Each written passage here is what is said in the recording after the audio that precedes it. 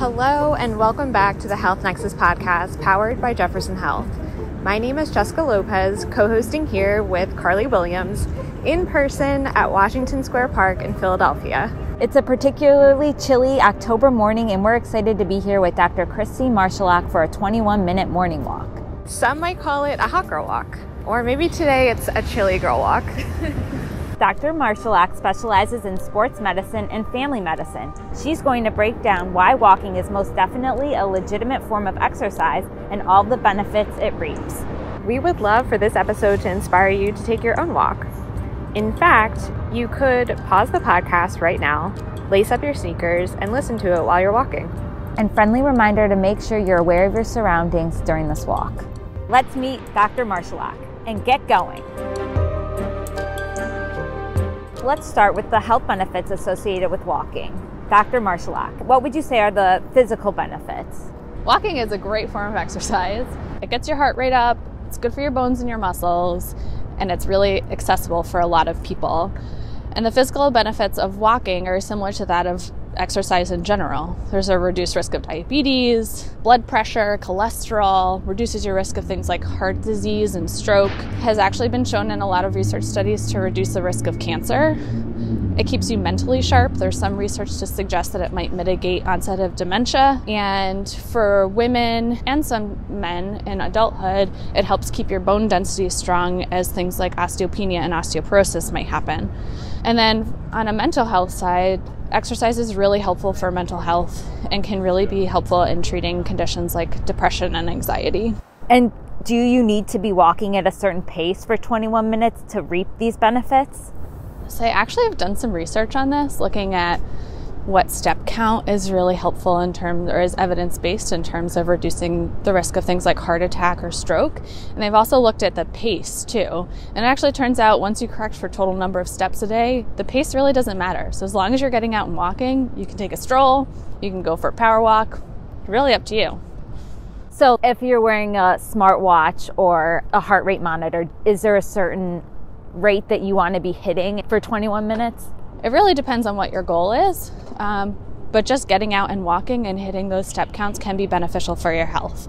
There are some studies that look at heart rate and generally our exercise, some of our exercise guidelines that are put out by the CDC do recommend more moderate and vigorous activity, which obviously correlates with your heart rate. But really, just getting out and getting those steps in can be really beneficial for your health.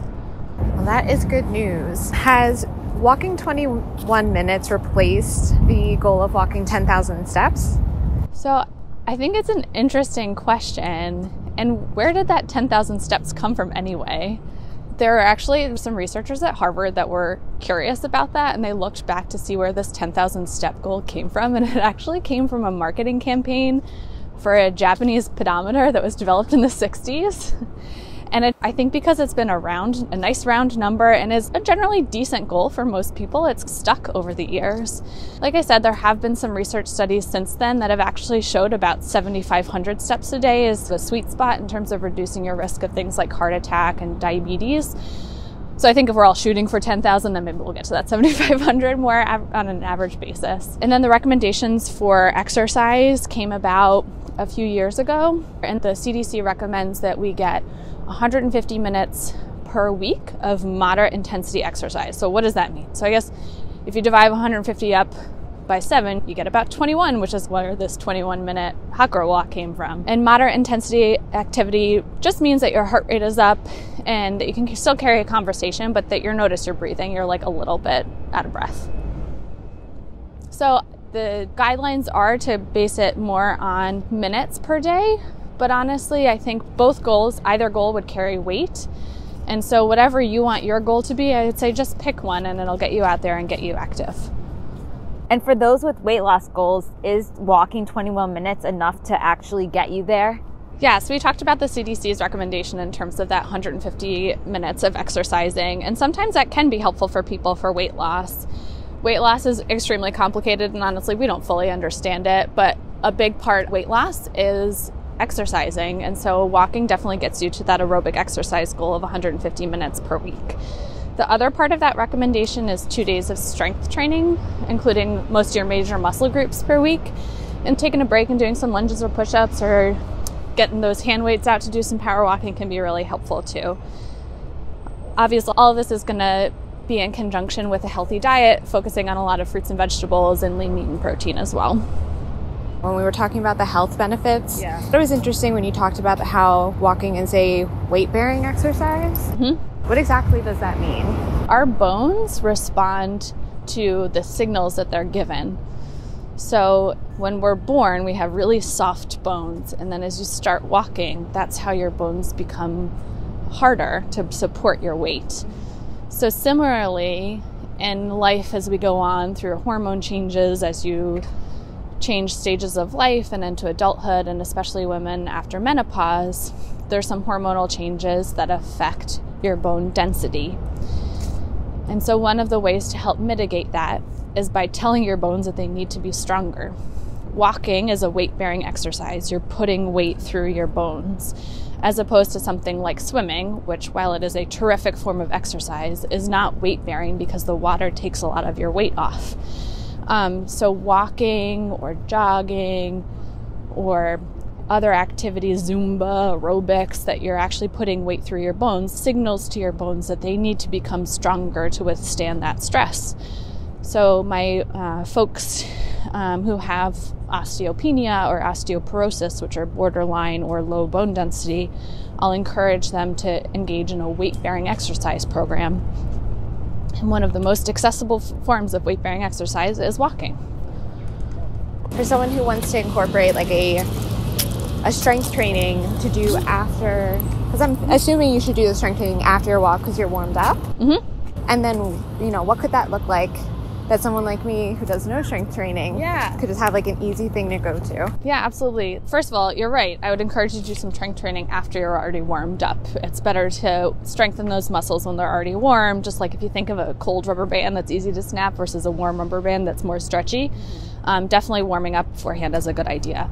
There are a lot of resources online these days, especially after the initial couple of years of the pandemic, of free strength training exercises. There's different YouTube channels you can check out. One resource in particular that's actually evidence-based was designed in the healthcare industry is the Johnson & Johnson 7-minute workout app, um, which is a free app. A lot of 7-minute workout apps out there, but specifically the one that's made by Johnson & Johnson is evidence-based. You can put in your fitness level, whether you've never done any strength training before, your age, if you have any medical problems, and they give you a 7-minute strength training workout. Now it's pretty rapid fire. It's pretty quick paced and you do basically a different move for 30 seconds and they take you through a 7-minute workout but it's easy. You can say whether or not you have any equipment or not. And if you have no equipment, it focuses just on body weight. And research on the app has been shown to help with some disease processes. Use so I think that's a really great uh, resource that I'll often give patients. It's a pro tip. Yeah. Yeah, we need to check that out. And do you want to comment, Dr. Marschilok? In our prior conversation, you talked about leaning into like being an old lady when approaching walking. Yeah, absolutely. I think we talked about, you know, how to incorporate some strength training while you're walking, make that a little bit more efficient and get all cover all of your bases and put your leg warmers on and get some hand weights out and really lean into feeling like an old lady and your mom who always used to go out power walking during the day. I think it can be a really great way to get both your strength and aerobic training in. If somebody is just starting working out and like walking, would you recommend kind of giving yourself some time just walking before like strapping on ankle weights? Yeah, I think that's a really good idea. I think giving your body a lot of time to adjust to a new exercise program is really helpful for improving stamina gradually and preventing injuries. Um, so I basically just enc- I ask when I'm talking with patients about this, I'll ask, you know, what do you do right now? What are how are you active? What do you do during the day? And if it's oh, I walk to the grocery store and that's three blocks away, I'll say, great. Do you think you might be able to go for a four or five block one, walk once a day, and kind of gradually increase from there? Just meet meet yourself where you are, and then gradually increase from there. So yeah, I think starting just with your simple body weight, and then gradually adding as you're feeling more comfortable, just to give yourself a little bit of a challenge. And that kind of leads to my follow up question on do you have any advice for somebody who's struggling to adopt like a regular workout schedule, like different ways that you can keep yourself accountable? It's so hard, right? I feel like every evening I say I'm going to wake up early in the morning and exercise before work. And then every morning when my alarm goes off, I shut it off and I say I'll work out after work. And the cycle just continues. So there are some things that can be really helpful.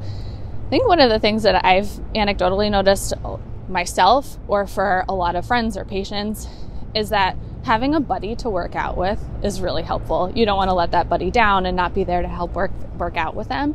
And so finding a friend who's also interested in getting a little bit more active and going on hot girl walks together um, would be a great idea. Another way to maybe help motivate yourself a little bit is find something that you really like to listen to while you're going. If that's podcasts, like maybe this podcast, or um, some music that you really enjoy, make this your time. Make it a little bit meditative and um, find something that makes you happy or motivates you that you look forward to while you're walking. Um, Philly has some really great walking and running groups, and so maybe look into finding a group that you can walk with, and again, having a little bit of that buddy system and accountability. And then overall, like we talked about, just remember to start small and gradually increase from from there. These small changes should feel like a little bit of a good challenge, but not not too uncomfortable to discourage yourself.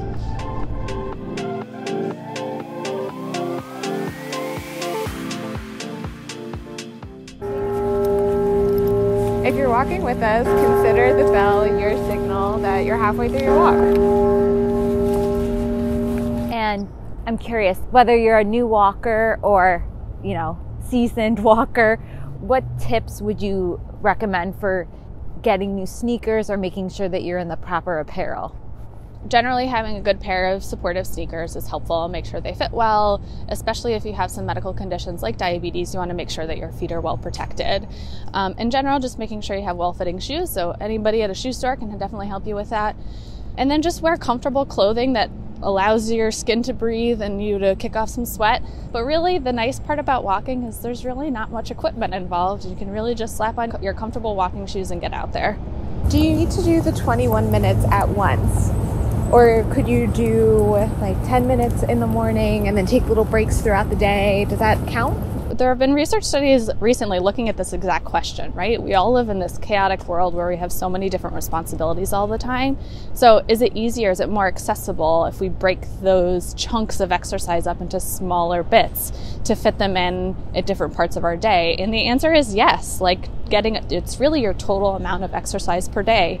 So, if you can go out for a 10 minute walk before you head to work and then go out for one at the end of the day or at lunch, those will be terrific for your overall health.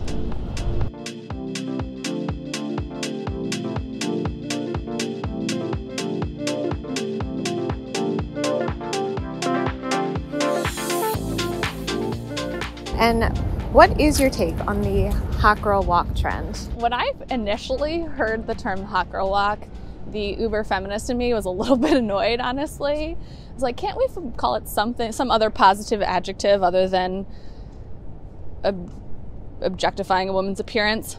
But when you get, when you read about the hot girl walk and the purpose of it, it's actually a really positive activity or a positive idea. So it really just the when you read about the inspiration for the hot girl walk, it's really about being active and thinking positively about yourself. The three rules of the hot girl walk is that you're walk you're walking, first of all, that you are thinking about things that you're grateful for, your goals and how you're going to get them there, and then how awesome you are. So it's really just any positive adjective combined with exercise. So it could be the hot girl walk or the awesome NB walk or the cool boy jog. It really doesn't matter. It's just about being positive about yourself and getting out there and being active. So once I read a little bit more about it, I was more happy about it. That's fair. And it was created during the pandemic by the TikTok influencer Mia Lind, who is an undergrad communications major at the University of Southern California. And to your point about how accessible walking can be to so many people, it makes sense that during the pandemic, where we had very limited options on how we could move, we couldn't go to the gym, that walking became so popular. Since it is called a hot girl walk, do you want to explain some of the benefits specifically for women? Yeah, absolutely. So, specifically for women, especially after menopause, bone density can be such an issue. We worry about osteopenia and osteoporosis in postmenopausal women. walking is such a great form of weight bearing exercise to really help curb the normal or expected bone loss, bone density loss that happens as you grow older, and can also help promote bone density, improvement of bone density. And I would think that there's a lot of great benefits for mental health too, right? Absolutely. We all know that endorphins make you happy, and exercise gets, gives you great endorphins. There have been a lot of studies showing that exercise is really effective in helping manage things like depression and anxiety, and really should be part of our first, honestly, our first initial treatment for a lot of mood disorders, in conjunction with some other things too, obviously. What are some of the ways that we can find mindfulness during our walks?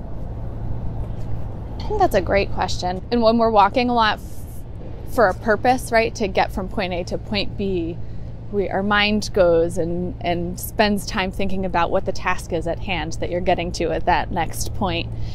Um, but practicing mindfulness while you're walking can be really helpful for helping calm anxiety and just giving you increasing your sense of well-being. So, either listening to some music that you really enjoy and focusing on the music that you hear, or focusing on some of your other senses. Right now, we're walking in the beautiful park on this nice morning day and there's beautiful fall foliage and the leaves are changing. So just even without talking to people, just appreciating the beautiful things that you see around you. Or if you're in a nice place that where the scent is nice, as opposed to Philadelphia where it might not be the best sometimes. Um, just enjoying. My husband and I were lucky enough to be hiking where there was like beautiful fruit smell and just like appreciating the different senses that you're experiencing can be really helpful um, for just being more mindful and appreciating where you are in the moment. Helps quiet your mind down from the day to day chaos. Definitely. Are there any breathing exercises you could do while walking, or is that kind of no, you should just breathe in and out. yeah, I think while we're walking, we should probably just let our body do what it needs to do in terms of breathing. There are some other breathing exercises that can be used for things like anxiety and clearing your head, but I probably wouldn't encourage them while we're exercising. Okay, good.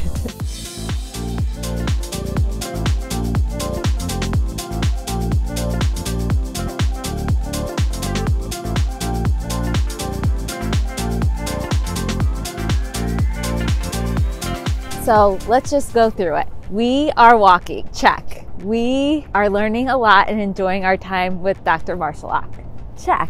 And Jess, what would you say? We're being mindful of the park, of the foliage, of all the cute dogs. We are feeling good. Yes. And we're thinking about our goals for ourselves and how to get there. And we're very grateful for this talk. So thank you for joining us on our Hot Girl Walk, Dr. Marshall Thanks for having me. It's been really fun.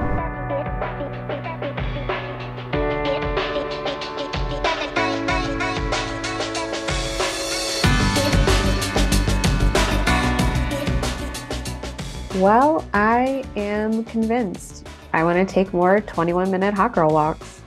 Want to be my accountability buddy, Carly? Count me in.